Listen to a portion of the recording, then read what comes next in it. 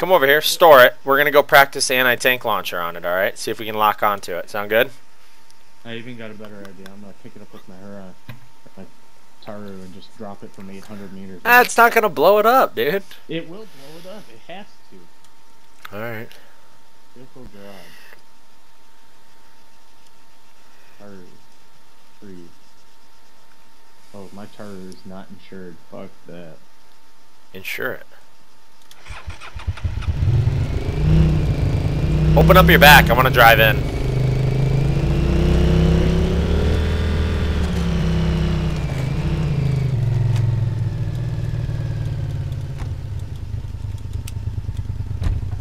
Uh, you can't drive in. Did it push you just now? Yeah, it just punched me. Wait, wait. Lower your thing down. There's a way that you can like load vehicles. Lower the ramp. Turn it off and lower the ramp real quick, dude. No, now it is. Now turn your engine off though, real quick.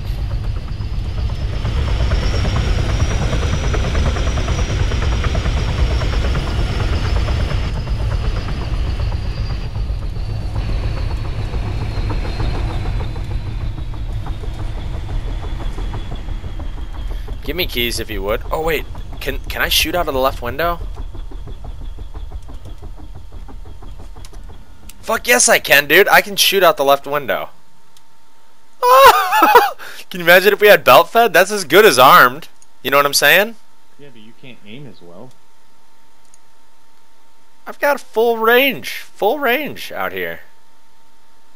I can shoot everything from halfway in between the water tower and that tower to fuck the trees on the right, just past the reeds.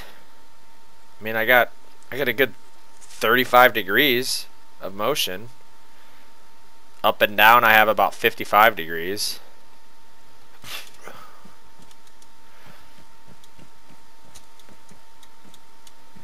Hmm.